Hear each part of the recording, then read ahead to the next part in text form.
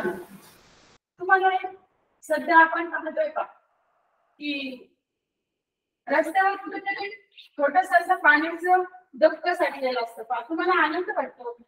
तुम्ही त्या पाणी संथ असेल तर त्यामध्ये असं डोकावून पाहतात डोकावून पाहताना तुमचं स्वतःच प्रतिबिंब म्हणजे तुमची स्वतःची आकृती तुम्हाला त्यामध्ये दिसते का यामध्ये तुम्हाला काय बदल दिसतो? तर तुमच्या जमिनीवरचे जे पाय आहेत ते पाय तुम्हाला पाण्यातील प्रतिमेमध्ये प्रतिबिंबामध्ये ते कसे दिसतात? वर दिसतात. आणि डोके तुमचं कुठे दिसतं? खाली दिसतं. मग आपले हे दैनंदिन जीवनातलंच उदाहरण आहे. आणि या दैनंदिन जीवनातील उदाहरणाचा निरीक्षणाचाच अनुभव आपल्याला स्कॉलरशिपमध्ये हा टॉपिक अत्यंत सहज कमी वेळेमध्ये तुम्हाला मार्क्स घेऊन जाणार आहे. ओके नाही सर्वांना इच्छाच असती मला स्कॉलरशिपमध्ये खूप छान मार्क्स मिळाले पाहिजे. मी स्कॉलर झालोच पाहिजे. ओके नाही आणि मग या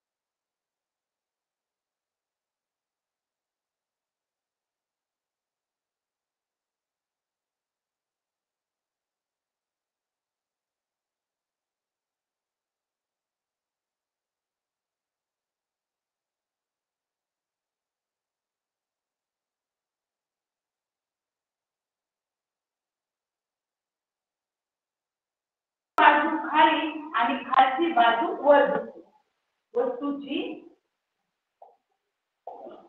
वस्तूची पाना.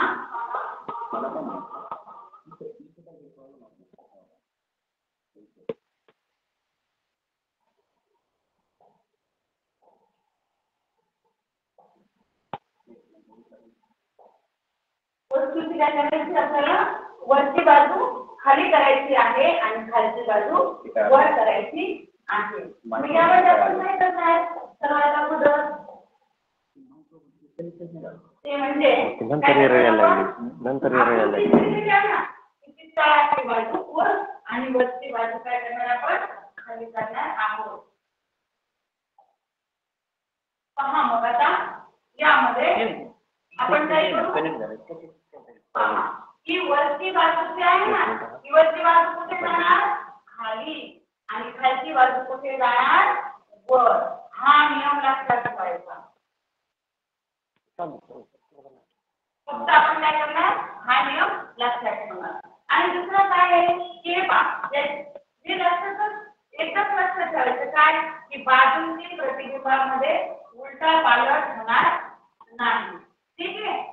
मग आता यामध्ये पहा. आपण काय करणार? की आपण अगोदर काय करणार आपण? की जी आकृती आहे त्या आकृती अभ्यासणार आहोत आज आपल्या उपघटकामध्ये महत्त्वाचा पॉईंट कोणता आहे? तो म्हणजे अंक ठीक आहे? चला. सर्वांनी नियम लक्षात ठेवला प्रतिबिंब म्हणजे काय? तर वस्तूची जी एखादी जी वस्तू आहे त्या वस्तूचे काय दिसते त्या वस्तूसाठी एक प्रतिबिंब दिसतं आणि त्यामध्ये फक्त एवढाच बदल झालेला असतो. वरची बाजू खाली आणि खालची बाजू ठीक आहे? आणि उजवी बाजू समजा उजवा हात तुम्ही पाण्याचा वरती केला तर वरतीच राहणार. वरतीच राहणार. ठीक आहे? मग आता आपण पाहू. नाही नाही तिथं नाही. इथून त्यांना होस्ट करायचं ना.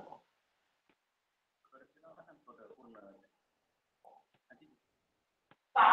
आता आपण काही उदाहरणे पाहू मुलांना. ते आता आपल्याला उदाहरणं पाहताना सर्वांनी काय करायचं अगोदर कोणता? या आकृतीचा तो लाल नाही एक, का करायचा? अं, मला screenshot करायचा. काढायचा मुलांना. काय करायचंय? स्क्रीनशॉट काढायचंय. कारण तुम्हाला तुमच्या आवाज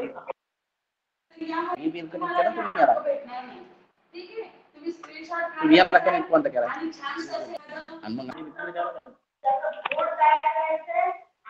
नाही.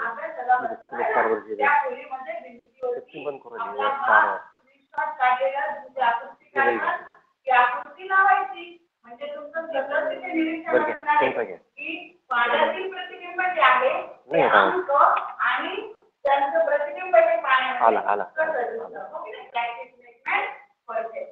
ओके याचं स्क्रीनशॉट काढून घ्या सर्व मुलांनी ठीक आहे आता पहा आपल्याला पाहिजे तर अक्षर म्हणजे आपला आजचा भाग आहे अंक तर अंक तुम्हाला सर्वांना माहीत आहे हे की नाही एक ते नऊ पर्यंतच्या अंक घेऊन आपण अब्जावधी पर्यंत संख्या बनवतो ओके नाही?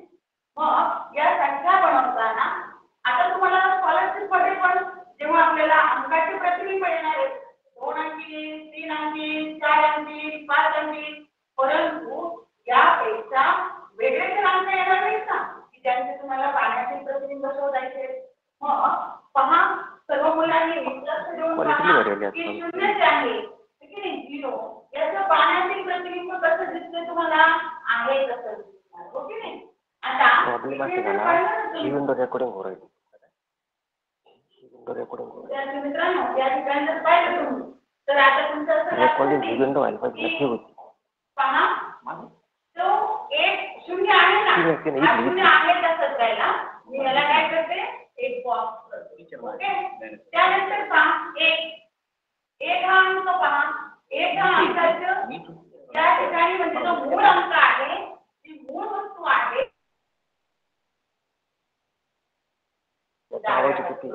हा कोणत्या बाजूला आहे? आता डाव्या बाजूला. मग कुठे राहिली. बाजूला. फक्त. काय झालंय? की खालचा भाग कुठे आलाय? ठीक आहे हा खालचा भाग कुठे आलाय? वरती आलाय. आणि हा वरचा भाग जो आहे? हा वरचा भाग हा कुठे आला? आलाय तुमचा नियम. येतो. प्रतिबिंबामध्ये काय वरचा भाग खाली आणि? खालचा भाग? वर. ठीक आहे. आणि डाव्या आणि उजव्या बाजूची खालचा भाग वर नाही. ठीक आहे? दोन अंक पहा. हा दोन अंक आहे. रेषा कुठे आहे? खाली आहे. इथे कुठे आली? वरती आली. ठीक आहे हा वरचा गेला? खाली गेला. ठीक आहे?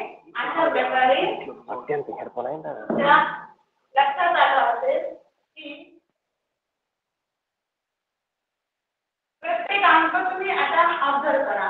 आणि सांगा बरं काकू की एवढ्या काश्मीर समोर तीन जो अंक आहेत काही तो अंक काही पहा. त्यानंतर चार अंक त्याचं पाण्याची प्रतिबिंब पहा. आपल्याला त्यानंतर पाच या अंकाचं पाण्याची प्रतिबिंब पहा. सहा या अंकाचं पाण्याची प्रतिबिंब पहा. त्यानंतर सात या अंकाचं प्रतिबिंब पहा. आठ या अंकाचं पहा. आणि नऊ या अंकाचं पाण्यातील प्रतिबिंब ठीक आहे. मग आता करा बरं सूक्ष्म निरीक्षण मी सांगितलं. तुम- तुम्हाला हा जो घटक आहे हा घटक फक्त तुमच्या सूक्ष्म निरीक्षणानेच मार्क देऊन जाणार आहे. मग आता तुमचं काय निरीक्षण आहे याच्यामध्ये? हा? काय सांगाल कोणत्या अंकाची हा?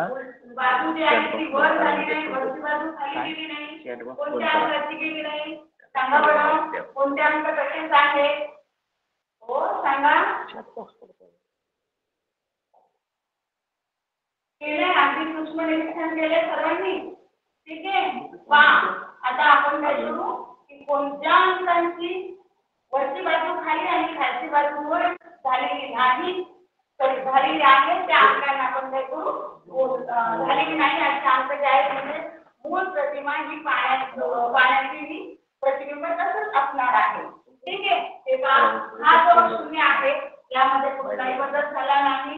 वरची बाजू खाली नाही खालची बाजू वर नाही. तीन हा अंक आहे. यामध्ये सुद्धा देखील कुठलाही बदल झालेला नाही. आणि आता जो आठ हा अंक आहे पहा हा सुद्धा आहे तसाच आहे. म्हणजे का बरं लक्षात ठेवायचे आपण? तर तुम्हाला माहिती आहे हे का लक्षात ठेवायचे तर हा नियम आहे. काय नियम आहे? तुम्ही उगाच त्या प्रतिबिंबाचे जे पाण्याचं ते आमदार त्यासाठी काही दिसलं नाही पुढे जायचं तिथे तुमचा वेळ वाया घालायचा नाही कारण हा सोपा घटक आहे या घटकाचा वेळ तुम्ही दुसऱ्या एखाद्या घटकाला परीक्षेमध्ये अं, देऊ शकता फक्त आपण पाहिले शून्य तीन आणि आठ पहा तुम्ही पाहिलंय पाहिले सर्वांनी सर्वांनी निरीक्षण केलंय तर शून्य तीन आणि आठ ही जी अंक आहे ज्या इंग्रजी अंकाची पाण्यातील प्रतिबिंबे ही मूळ अंकाप्रमाणे दिसतात मग हे शोधण्या प्रश्नाकृतीमध्ये शोधण्यात वेळ घालायचा नाही म्हणजे या ठिकाणी देखील तुम्ही त्यामध्ये पुष्कळ अगदी पुष्कळ वेळेची बचत होणार आहे ठीक आहे आता विद्यार्थी मित्रांनो शून्य तीन आणि आठ त्या संख्या काय लक्षात ठेवायच्या झिरो तीन आठ ठीक आहे आपल्या इथं काय आहे प्रतिबिंब प्रतिबिंब शोधताना सर्वजण पतंग उडवतात ना ठीक आहे नाही कधी उडवतात तुम्ही पतंग हो जानेवारी महिन्यामध्ये ठीक आहे संक्रांती आली की तुमच्या हाती अगदी आवडीने सुरू होतो मग पतंग आपण म्हणतो ना उडवा हा आवडू. ठीक आहे नाही डाऊ उडाऊ डाऊ उडाऊ पण आवश्यक असं एक सूत्र लक्षात ठेवायचं डाऊ उडा डाऊ उडा असं एक सूत्र लक्षात ठेवायचं म्हणजे काय करणार काय करणार तुम्ही ते सूत्र पुढे लक्षात ठेवणार हा हा खूप लक्षात हे लक्ष कुठे ठेवणार तुम्ही आता ते प्रतिबिंब शोधण्यासाठी आता इथे काय लक्षात ठेवणार वर खाली खाली वर व खा खा व असं एक तुमचा फॉर्म्युला तयार करायचं किंवा एक सूत्र लक्षात ठेवायचं की जेणेकरून तुमचा मार्क जाणार नाही असं तंत्र आहे फक्त तुम्ही काय करायचे सूक्ष्म निरीक्षण करायचे चला मग आता इथपर्यंत तुम्हाला क्लिअर झालंय? क्लिअर झालंय? इथपर्यंत क्लिअर झालंय सर्वांना नियम काय आहेत? आपण काय अभ्यासतोय? आपण अभ्यासतोय पाण्यातील प्रतिबिंब. आणि पाण्यातील प्रतिबिंब अभ्यासताना आपण काय करतोय? फक्त आणि फक्त काय करतोय? बाजू वरची बाजू कुठे जाणार? खाली येणार आणि खालची बाजू कुठे जाणार? वर जाणार. ठीक आहे? पहा मग आता आपण अशा प्रकारचे उदाहरण घेऊ आणि उदाहरण सोडवून पाहू. पहा आता चारशे पस्तीस ही एक तुम्हाला तीन अंकी संख्या आहे. आणि एक प्रश्न आकृती आहे. मग आता या प्रश्न आकृतीमध्ये तुम्हाला काय करायचं कोण? तर तुम्ही काय करणार? या उरलेले जे चार पर्याय आहेत या चार पर्यायातून तुम्ही या प्रश्न आकृतीचं पाण्यातील प्रतिबिंब शोधणार आहात. ओके की नाही? मग आता पाण्यातील प्रतिबिंब शोधताना तुम्ही काय करणार? आपण काय नियम सांगितलाय? काय नियम सांगितला आपण? काय होणार? वरची बाजू खाली आणि खालची बाजू वर. मग ठीक आहे आता हे पर्याय शोधणार शोधताना आपण काय करणार? आता पहा एक तर आपल्याला चारशे पस्तीसच ही संख्या पाहिजे बरोबर आहे? आता हा जो चार आहे बरोबर आहे? हा चार. या चारचे काय झाले? बरोबर वरचा त्रिकोणाची बाजू कुठे आले? हे पहा इथे कुठे आलेली आहे? खाली आलेली ओके? त्यानंतर तीन आपण पाहिले इथे वेळ झालेच नाही तीन शून्य आणि आठ. आहे की नाही? यांची प्रतिमा काय होणार नाही? बंदच होणार नाही.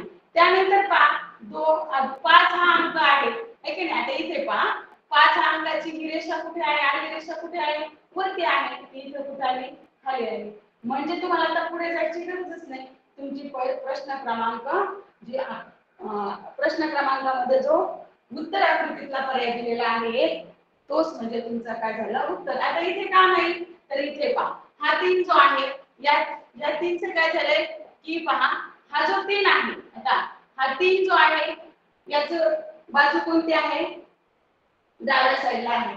प्रश्न आकृतीमध्ये कुठे झाली? उजव्या साईडला झाली. म्हणजे काय? ती प्रतिबिंबामध्ये डावी बाजू उजवी होणार नाही आणि उजवी बाजू डावी होणार नाही. तर फक्त काय होणार? प्रतिबिंबामध्ये पाण्याच्या प्रतिबिंबामध्ये काय होणार? खालची बाजू वर आणि वरची बाजू खाली. ठीक आहे? आता पहा. आता तुम्ही ह्या आकृत्या कशा ओळखायची तर आकृत्या ओळखताना कधी कधी तुम्हाला प्रश्नामध्ये दिलेलं नसतं हे की नाही? की पाण्यातील प्रतिबिंब शोधा किंवा आशातील प्रतिमा शोधा हे दिलेलं नसतं. मग तुम्ही कधी कसं शोधणार?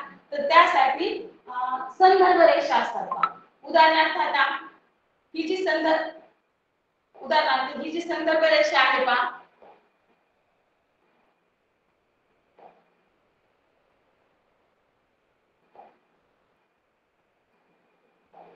पहा आता ही जी संदर्भ रेषा आहे ना ही संदर्भ रेषा असते तुमची जल प्रतिबिंबासाठी जल प्रतिबिंब म्हणजे पाण्यातील प्रतिबिंब.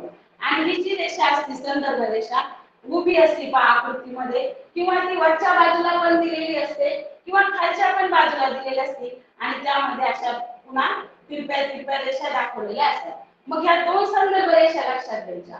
अशी जर संदर्भ रेषा असेल तर तुम्ही समजायचंय काय आहे? पाण्यातील प्रतिबिंब. आणि अशी संदर्भ रेषा दिलेली असेल तर तुम्ही काय सांगायचं? की आहे आशातील प्रतिमा. ठीक आहे? आता हे क्लिअर झालं सर्वांना? की संदर्भ रेषा ज्या आहेत त्या संदर्भ रेषेनुसारच तुम्ही काय करणार आहात? प्रश्न सोडवणार आहात. ठीक आहे? मग तुम्हाला जर अशा प्रकारची आकृती दिसली तर जल प्रतिबिंब आणि ही रेषा जर इकडे दिसली किंवा ह्या साईडला दिसली तर तुम्ही काय समजणार ते? आशातील प्रतिबिंब. ठीक आहे. आता आपण पुढचं उदाहरण अभ्यासू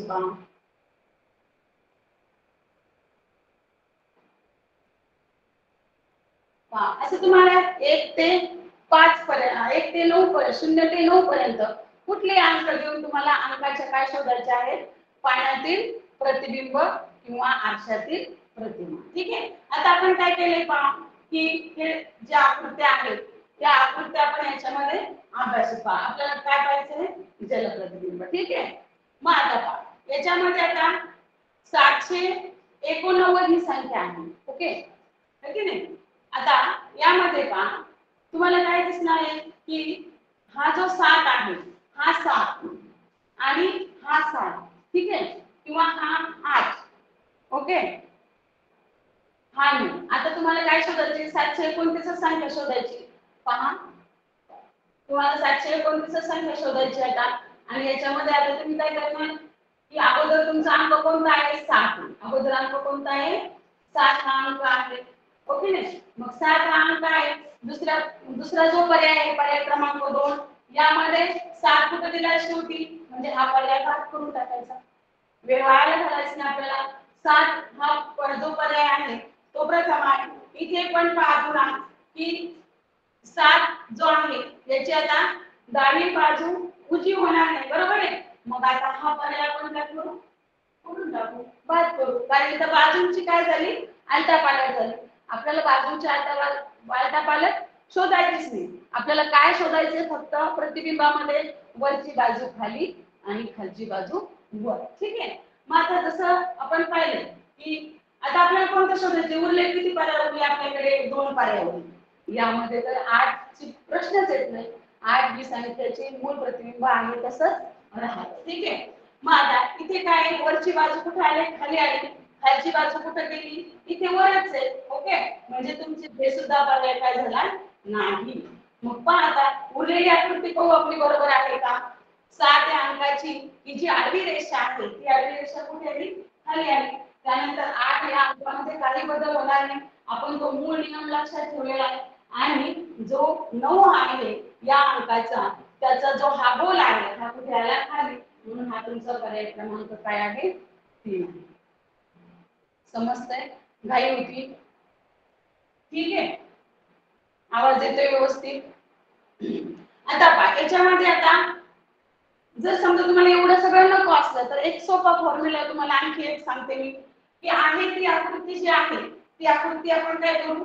अशा प्रकारे आपली आकृती जी आहे ती आपण अशी काढून घेऊ. ठीक आहे? त्यानंतर तुम्हाला काय शोधायचंय? याचं जल प्रतिबिंब शोधायचंय. ठीक आहे?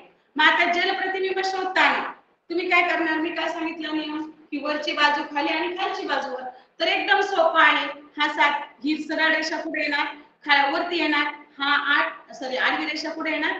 त्याच बाजूला येणार. कारण बाजूंची अलटा पालट होत नाही. आठ या अंकामध्ये काही आपल्याला चेंज करायची गरजच नाही. कारण आपला नियम पाहत आहे. पाण्याच्या सॉरी प्रतिबिंबामध्ये जलप्रतिबिंबामध्ये शून्य तीन आणि आठ हे जे अंक आहे त्यांचं प्रतिबिंब हे अगदी मूळ वस्तू सारखंच असतं. आता नाईन नाईन मध्ये ही आडवी रेषा कुठे आहे खाली आहे. इथे कुठे येणार? वर. आणि आहे तसंच तुमचा काय येणार?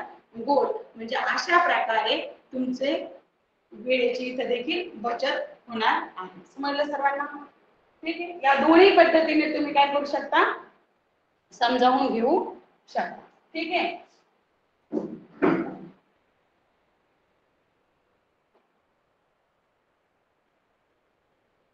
आता आपण पुढचा प्रश्न पाहू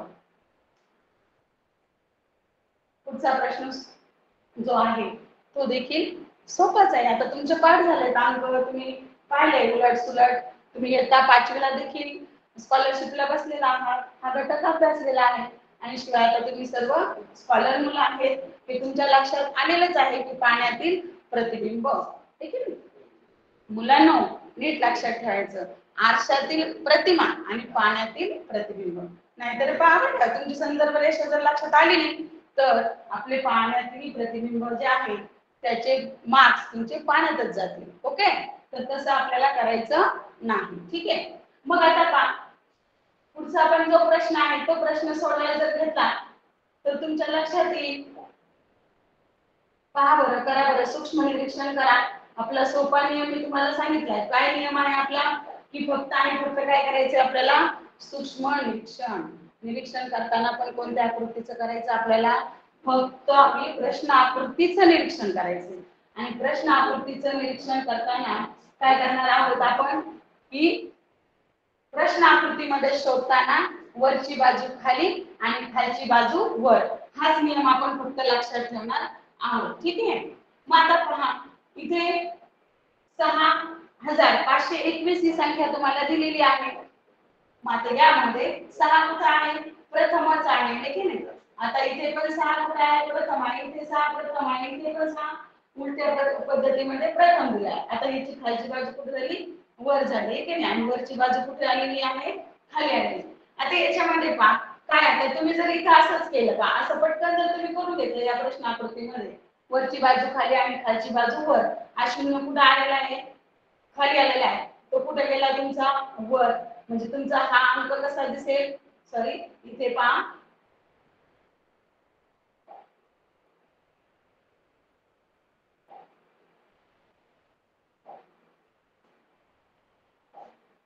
पहा त्याच्यामध्ये हा जो सहा आहे की नाही? सहा आहे तो कसा दिसणार पहा खालचा जो शून्य आहे तो शून्य कुठे येणार तुमचा?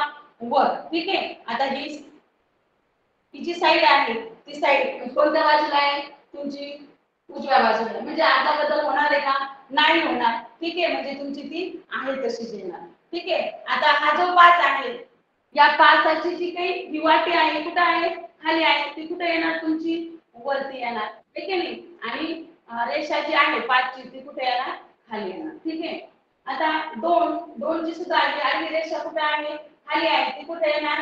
वरती येणार. ठीक आहे नाही आणि वरती येऊन तुम्हाला काय दिसणार? तुमचा दोन जो आहे तो दोन आहे त्या स्थितीमध्ये दिसणार आहे. ठीक आहे? त्यानंतर एक आहे तसाच. ठीक आहे अशा प्रकारे तुम्हाला आता इकडे आकृती शोधायची. पहा बरं. शोधता येते का? पहा बरं. पहा बरं येते का? शोधता. कोणता अंक आहे सांगा बरं. आता इथे पहा पाच जो आहे हा पाच दाखवलेला आहे. त्याची वाटी जी आहे ती कुठे गेली? वरती. ही रेषा कुठे आली? खाली. ठीक आहे पाच जो आहे तसाच आहे. मग कोणता पर्याय येणार आपला? सांगा पटकन. हा सांगा. बरोबर. कोणता पर्याय येणार आहे आपला? तर आपला येणार आहे पर्याय क्रमांक दोन. ठीक आहे? समजले सर्वांना समजतंय? काय नियम सांगतोय आपण फक्त? हा बोला. जल प्रतिबिंबामध्ये वरची बाजू कुठे येते? खाली. आणि खालची बाजू वर येते. बाजूंची उलटा पालट होत नाही. डावी बाजू डाव्याच बाजूला राहते आणि उजवी बाजू उजव्याच बाजूला राहते. ठीक आहे? म्हणजे काय? की प्रतिबिंब पाहताना बाजूंची बदल बाजूंमध्ये बदल होत नाही. ठीक आहे नाही? आणि आपल्याला प्रश्न आकृतीमध्ये अंक दिलेले असतात अक्षरे दिलेली असतात. त्याचबरोबर आपल्याला आकाराचे देखील पाण्यातील प्रतिबिंब शोधायचे असतात. ठीक आहे? आता आपण आपला दुसरा घटक पाहणार आहोत का तो म्हणजे अशा प्रकारे भरपूर अशी उदाहरणं आहेत. आपण यातला अगोदर आपली जी आरशातील प्रतिमा आहे त्या प्रतिमेचा अभ्यास करू का? ठीक आहे? भरपूर उदाहरणं आहेत.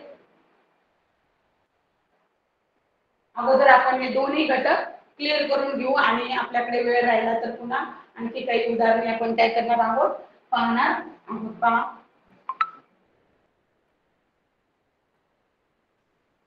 पाहता यामध्ये आपल्याला आता पुढचा घटक पाहायचा आहे. एकच घटक आहे पाण्या जलप्रतिबिंब आणि त्यातला दुसरा उपघटक आहे प्रतिमा आणि प्रतिबिंबामध्ये. तो म्हणजे आरशातील प्रतिमा. आता पहा आरशातील प्रतिमा पाहताना कोणते दोन नियम लक्षात ठेवायचे? हो की नाही? नियम कोणते आहेत? डावीकडचा जो भाग आहे आरशातील तिच्या प्रतिमेत डाव्या बाजूला उलट झालेला दिसतो. याचप्रमाणे डावीकडचा भाग उजवीकडे दिसतो. म्हणजेच आरशातील प्रतिमेत आकृतीच्या बाजू बदलतात. थोडक्यात काय? मी सांगितलं. आहे का नाही? उडा डा उ आहे का नाही? पतंग उडाऊ असं जरी लक्षात ठेवलं तुम्ही उजवी बाजू डावी होते आणि डावी बाजू उजवी होते. ठीक आहे? दुसरं आहे जर आपण आरसा प्रश्न आकृतीच्या वरच्या बाजूला झाला हा? तर आकृतीचा वरचा भाग जो आहे तो आरशातील तिच्या प्रतिमेस वरच्याच बाजूला दिसतो. आणि खालचा भाग खालच्याच बाजूला दिसतो. म्हणजे वर खाली होत नाही. ठीक आहे? आणखीन एक नियम आहे की जो मी इथे नाही लिहिलेला परंतु आरशातील जी आपल्याला मूळ वस्तू जी आहे त्या मूळ वस्तूची जी प्रतिमा आहे ती प्रतिमा आरशापासून जेवढ्या अंतरावर आहे तेवढ्याच अंतरावर ती आरशाच्या पाठीमागे असेल म्हणजे आरशाच्या पृष्ठभागाच्या जवळ जो अंक आहे तो प्रतिमेमध्ये तो अगोदर दिसणार नंतरचा नंतर दिसणार का? तर आरशातील जी मूळ वस्तूचं अंतर आहे ते प्रतिमेमध्ये तेवढंच असतं ठीक आहे? मग आता याप्रमाणेच पहा की जर आता तुम्ही अंक सगळे सर्व अंक जर अभ्यासले शून्य ते नऊ पर्यंत ठीक आहे नाही? कारण दहा का नाही घेतला तर एक आणि शून्य.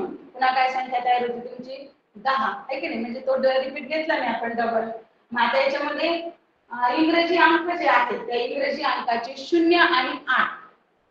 या दोन अंकाची जी आरशातील मूळ प्रतिमा जी आहे ती दिसते. म्हणजे त्याच्यामध्ये कुठलाही डावी उजवी किंवा उजवी डावी करायची तुम्हाला गरज नाही. हा जर तुम्ही असा नियम लक्षात ठेवला तर तुमच्या पुन्हा काय लक्ष वेळ वेळेची तुमची काय होणार आहे? बचत होणार आहे. ठीक आहे? आता पहा तुम्ही आपण दैनंदिन जीवनामध्ये पाहतो तुम्ही सपोज शाळेत निघाले हे की नाही? तर तुम्ही आव- आवरण्यासाठी आरशामध्ये उभं राहतात. तेव्हा तुमच्या लक्षात येत असेल की बाजूंची कशा प्रकारे आदला बदल होते. डावी बाजू उजव्या बाजूला आणि उजवी बाजू डाव्या बाजूला. की नाही? तुम्ही आरशापासून खूप दूरवर उभं राहिले तर तुम्हाला तुमची प्रतिमा काय होते? आरशापासून तेवढीच पाठीमाग असते. त्यामुळे ती स्पष्ट दिसत नाही. म्हणजे आरशावरच्या ज्या प्रतिमा आहेत त्या प्रतिमा देखील त्या अंतरावरती अवलंबून असतात. ठीक आहे?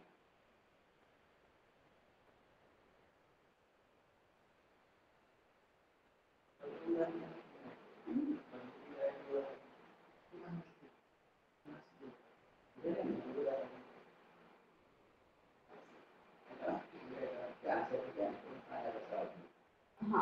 पहा आता. आता हे दोन अंक दिलेले आहेत विद्यार्थी मित्रांनो. आता आपण कोणते अंक घेतले? पाच घेतले. ओके? है की नाही? पाच पाच हा अंक घेतलेला आहे. पहा आता तुम्ही इथे जर नीट ऑब्झर्व केलं तर आपल्याला इथे ही संदर्भ रेषा दिलेली मुलांना संदर्भ रेषा नेहमी लक्षात घ्यायची. कशी लक्षात घ्यायची संदर्भ रेषा? तर अशी संदर्भ रेषा दिसली तर समजायची ही काय आहे? आरशातील प्रतिमा शोधायची. कधी कधी प्रश्न दिलेला नसतो. ठीक आहे आता आपण पंचावन्न हा अंक घेतला. ठीक आहे ना? तर पंचावन्न या अंकामध्ये तुम्ही पहा की हा जो वाटीसारखा भाग आहे याची जी ओपन बाजू आहे ज्याला म्हणतो आपण ती बाजू कोणती आहे? डावी आहे. आणि ती कुठे जाणार? उजव्या बाजूला जाणार आहे. ठीक आहे? मग आता सांगितल्याप्रमाणे तुम्ही सूक्ष्म निरीक्षण करा आणि शोधा पाहूयातला पर्याय कोणता आपला योग्य पर्याय असेल. शोधा बरं.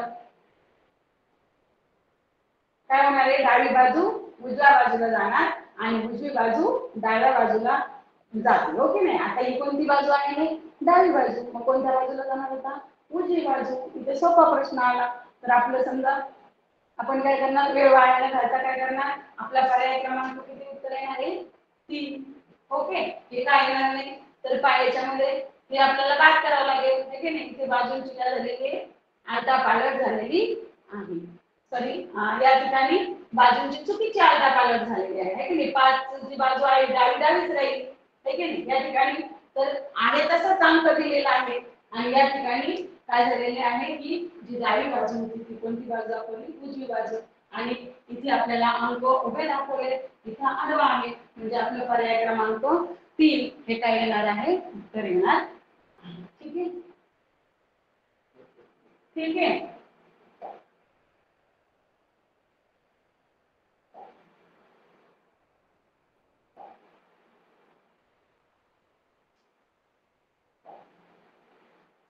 ठीक आहे आपण काय करू? एक अंक घेऊ पहा. की आपल्याला आता आरशातील जी वस्तू आहे अंक त्या अंकाची जी प्रतिमा आहे ती प्रतिमा पाहताना मूळ बाजू काय होते मूळ बाजू बदलतात. डावी बाजू उजवीकडे आणि उजवी बाजू कुठं जाते? डावीकडे जाते. ठीक आहे. मग आपण काय करू की यामध्ये एक अं, असे उदाहरण आपण काय करू? घेऊ पहा. उदाहरणार्थ आहे आठशे पंच्याहत्तर. आठशे पंच्याहत्तर ही संख्या आहे. आणि तुम्हाला सांगितलंय की या संख्येचं काय करायचंय? प्रतिबिंब सॉरी प्रतिमा आरशातील तयार करायची आहे शोधायची. सर्वांनी नेहमी ही प्रतिमा सॉरी संदर्भ रेषा जी आहे ती संदर्भ रेषा लक्षात घ्यायची. ठीक आहे आता आठ हा अंक आपण पाहिले. आठ हा अंक काय होणार आहे आहे तसाच राहणार आहे. तो मूळ वस्तूप्रमाणेच राहतो शून्य आणि आठ.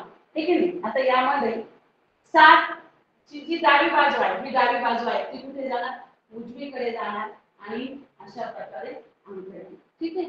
त्यानंतर पाच हा अंक जो आहे तो अंक आता ही जी आडवी रेषा आहे ती आडवी रेषा ह्या बाजूला जाणार म्हणजे उजवी बाजू डावीकडे जाणार आणि अशा प्रकारे हा वाटीसारखा जो भाग आहे हा जो डावीकडे होता तो कुठे येणार? उजवीकडे येणार. समजलं सर्वांना? ठीक आहे? आपण असं सोपं पण पर्याय शोधत बसण्यापेक्षा. आपण सो सोपं पण करणार करून घेऊ शकतो स्वतःसाठी. ठीक आहे समजलं सर्वांना? हो.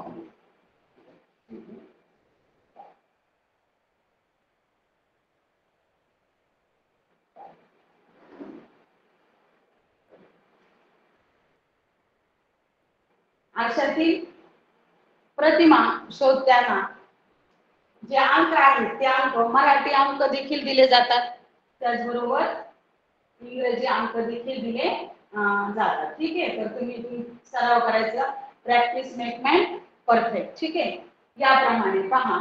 आता दोनशे पंचवीस ही संख्या आहे. सॉरी दोन हजार पंचवीस ही संख्या आहे. आणि या दोन हजार पंचवीस या संख्येचं हे जलप्रतिबिंब दिले.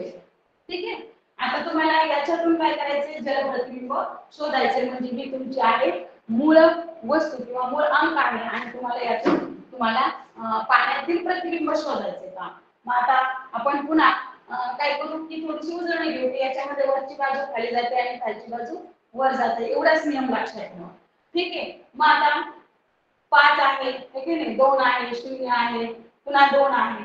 मग आता खालची बाजू कुठे जाणार? वर जाणार. वरची बाजू कुठे जाणार? खाली जाणार आहे की नाही? आता ही खालची बाजू इथं दोन दोनची कुठं दाखवली ते वरती दाखवली ठीक आहे? हा काय आहे? शून्य. पुन्हा ही कुठं दाखवली वरती दाखवली. पाचची आली रेषा कुठं गेली खाली गेली. म्हणजे आपला पर्याय क्रमांक किती आलं उत्तर? एकच आलं. म्हणजे आपल्याला काहीही त्याच्यामध्ये पुढे पर्याय शोधायची प्रश्नच येत नाही. ठीक आहे? बरोबर आहे का? सांगा बरं मुलांना. बरोबर आहे का? नाही. का नाही? तर तुम्ही घाई केली ओके? नाही सूक्ष्म निरीक्षण केलं नाही घाई केली. घाई केली म्हणजे आपलं काय होणार आहे? मार्क्स जाणार आहे. मग आता काय चुकलं आपलं? चला काय चुकलं? पहा बरं. ठीक आहे नाही आपल्याला काय करायचं मी सुरुवातीला सांगितले की सूक्ष्म निरीक्षण करायचे असं करणार का तुम्ही? नाही करणार. ठीक आहे? मग आता शोधा बरं उत्तर. हा. आता आकृतीमध्ये काय आहे? प्रथम काय दिलेलं आहे? पाच दिलेला आहे की नाही? नंतर काय दिलेलं आहे? दोन दिलेला आहे. नंतर काय दिला आहे? शून्य दिला आहे. नंतर काय दिला आहे? तर दोन दिला आहे. मग आता हेच तुम्हाला सिरेली हेच अंक शोधायचे. ओके नाही? तुम्ही काय करणार? अगोदर सिरेली हे अंक शोधणार. आहे की नाही? मग याच्यामध्ये आता आपल्याला काय करणार आहे आपण? की यामध्ये आपण जो आपल्याला नको असणारा आहे तो काय करू आपण? बाद करू. सपोज आता हा चुकीचा पर्याय आहे. म्हणजे आपण हा काय करून टाकू बाद करून टाकू पहा. ठीक आहे. मग आता शोधाकडे पाहू. शोधाकडे पाहू आपलं अं, प्रतिबिंब प्रतिबिंब पाण्यातलं कसं दिसणार आहे. ठीक आहे? तर आता आपल्याला काय झालंय? की थोडस इथं गोंधळ व्हायला आहे. मग अशा वेळेस तुम्ही काय करणार? जी मूळ आकृती आहे ती आकृती शोधायची. दोनची रेषा कुठे आहे खाली आहे. इकडे कुठे येणार? वरती येणार. शून्यामध्ये काही बदल होणार? नाही. ठीक आहे? या ठिकाणी सुद्धा जसं आहे तसंच येणार फक्त. ही रेषा कुठे येणार? खाली येणार. ठीक आहे? म्हणजे तुम्हाला जी तुमची आकृती आहे प्रश्न आकृती ती कुठे भेटणार आहे? ती पर्याय क्रमांक दोन मध्ये भेटणार आहे. आता कसं तर का पहा? हे नाही? इथे काय चुकले काय चुकले तुम्ही? तर इथे हा जो दोनाची ही जी वाटी होती ती कोणत्या बाजूला होती? स्पेस डाव्या बाजूला. ती कुठे आली? उजव्या बाजूला. आणि म्हणून ते पर्याय काय आहे? चुकीचे आहेत. म्हणजे इथे काय नियम चुकले होते तुम्ही? तुम्ही तो नियम लागूच केला नाही. डावी बाजू उजव्या बाजूसाठी आणि उजवी बाजू डावी बाजू होत नाही. तिथे काय होतं फक्त? यामध्ये काय होणार? फक्त वर आणि खाली. खाली आणि वर. ठीक आहे? समजले सर्वांना इथपर्यंत? समजले सर्वांना? ठीक आहे? चला तर मग एकदा आपण रिव्हिजन देऊ है की नाही? की प्रतिबिंब शोधताना काय नियम लक्षात ठेवणार तुम्ही? त्याला सांगा भाऊ पाहू. जल प्रतिबिंब शोधताना प्रश्न आकृती दिलेली असते आणि तुम्हाला उत्तर आकृत्या दिलेल्या असतात. त्या चार उत्तर आकृत्यातून तुम्हाला अचूक पर्याय निवडायचा असतो. ठीक आहे ना? आणि मार्क्स मिळवायचा असतो. मग यासाठी तुम्ही काय नियम लक्षात ठेवणार? प्रतिबिंबासाठी काय नियम लक्षात ठेवणार? हो अगदी बरोबर. काय तर प्रतिबिंबामध्ये वरची बाजू खाली जाते आणि खालची बाजू वर जाते.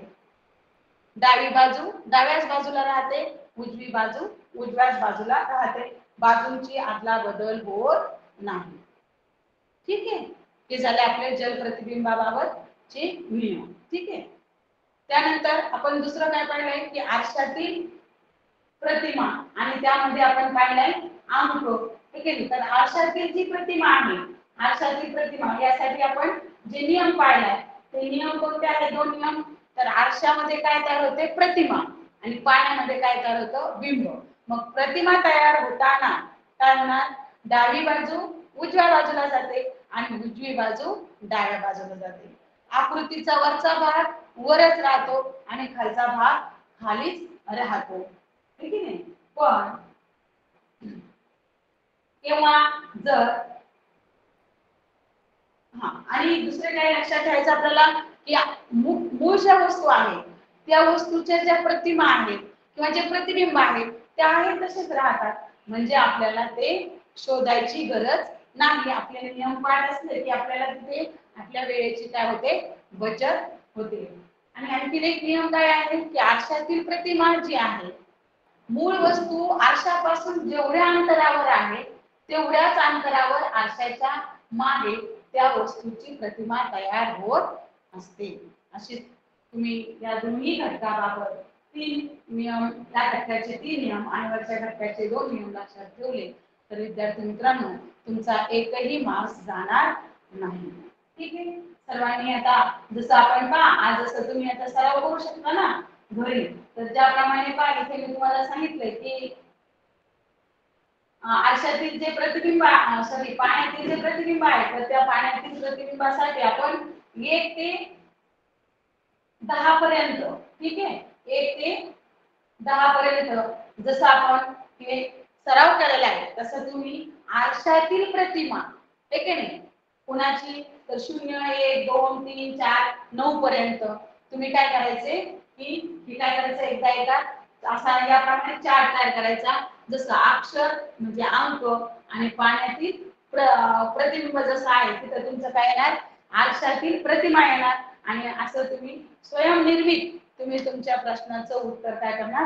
शोधणार. म्हणजे तुम्हाला अडचण येणार नाही. आणि अशा प्रकारे तुम्ही ज्या खोलीमध्ये बसता त्या खोलीमध्ये तुम्ही समोरच असे जर दोन चार्ट करून लावले तुम्ही अंकाचे प्रतिबिंब आणि आरशातील प्रतिमा तर तुमचा एकही मार जाणार नाही आणि तुमचा खूप छान सराव होईल. आणि तुम्ही स्वतः देखील काही प्रश्न तयार करू शकतात.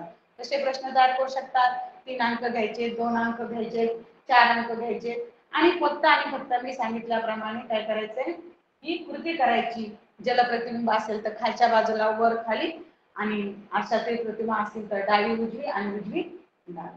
ठीक आहे? समजले सर्वांना इथपर्यंत? ठीक आहे? तर आपण अशा प्रकारे तुम्ही हे दोन नियम सुद्धा तुमच्या वहीमध्ये लक्षात घेऊ नियम काय करू शकतात? लिहून घेऊ शकतात. ठीक आहे? विद्यार्थी मित्रांनो आता जलप्रतिबिंब अंक आणि आरशातील प्रतिमा अंक. या दोन्ही मध्ये काय फरक आहे? आपण एकदा शेवटी जाता जाता पाहू पहा. की जल प्रतिबिंब यामध्ये काय होते? वरची बाजू खाली आणि खालची बाजू वर. आरशातील प्रतिबिंबमध्ये काय होते? खालची बाजू खालीच राहते वरची बाजू वरच राहते. ठीक आहे? इथे काय होते? जल प्रतिबिंबामध्ये डावी बाजू डाव्याच बाजूला राहते उजवी बाजू उजव्याच बाजूला राहते. आरशातील प्रतिमेमध्ये काय होते की उजवी बाजू डाव्या बाजूला जाते आणि डावी बाजू उजव्या बाजूला जाते. म्हणजे अशा प्रकारे जर तुम्ही दोन्ही प्रतिमा आणि प्रतिबिंब जलप्रतिबिंब आणि आरशातील प्रतिबिंब यांच्यामधला जर फरक लक्षात ठेवला तर तुम्हाला अतिशय सोप्या पद्धती वापरून तुम्ही तुमच्या उदाहरणातील उत्तरापर्यंत सहज पोहोचू शकता. ठीक आहे?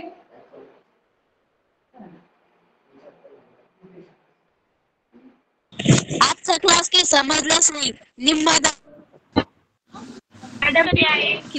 मॅडम काही दिसतच नव्हतं. मॅडम राहायचं राहायचं आणि ऐकू येत नव्हतं. मॅडम खूप छान क्लास मॅडम परत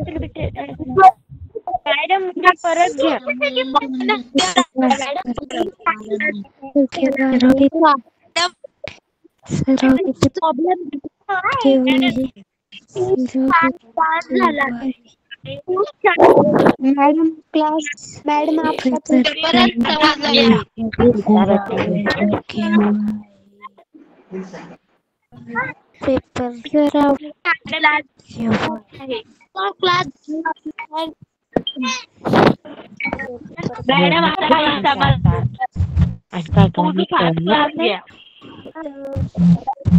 Bukan kelas. Oh, ini gini.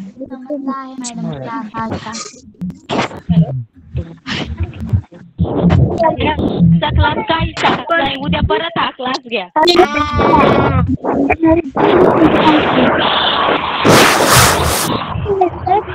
Hello. आपण पेपर जरा मॅडम आता काही समजलं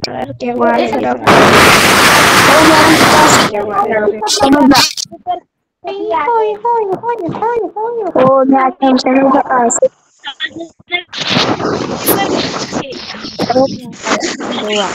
हा क्लास घ्या हॅलो हो मॅडम समजलं संपला का मॅडम टीचर घ्या पेपर मॅडम पेपर कधी आहे मॅडम पेपर कधी आहे शनिवारी कधी आहे काही question madam paper madam offline? विचार क्वेश्चन आन्सर ऑनलाईन मॅडम पेपरचा टाइम काय आहे पेपरचा टाइम काय आहे आठ ते सहा मॅडम आठ पेपर कधी आहे? आठ ते साडेआठ. मॅडम पेपरचा टाइम काय आहे मॅडम पेपर शाळेत आहे? का घरी? मोबाईलवर. मोबाईलवर आहे का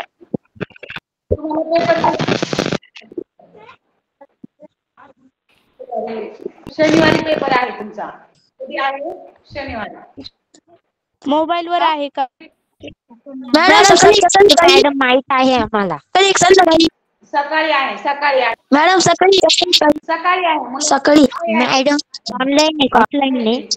मॅडम मॅडम ऑनलाईन आहे ऑफलाईन आहे. काही मॅडम किती वाजता आहे? ऑफलाईन आहे. ऑनलाईन. मॅडम ऑनलाईन आहे का? ऑफलाईन? मॅडम किती वाजता आहे? मॅडम ऑनलाईन आहे का? ऑफलाईन? काही क्वेश्चन नाही सोडायला मॅडम पेपर किती वाजता आहे? मॅडम पेपर किती वाजता आहे? खूप छान झाला. आणि समजला सुद्धा. मॅडम पेपर किती वाजता आहे? तास हॅलो, मॅडम. झाला आणि समजला सुद्धा.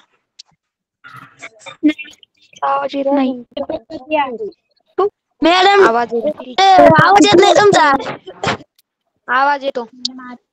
छान झाला. टायमिंग झालेला आहे. थँक्यू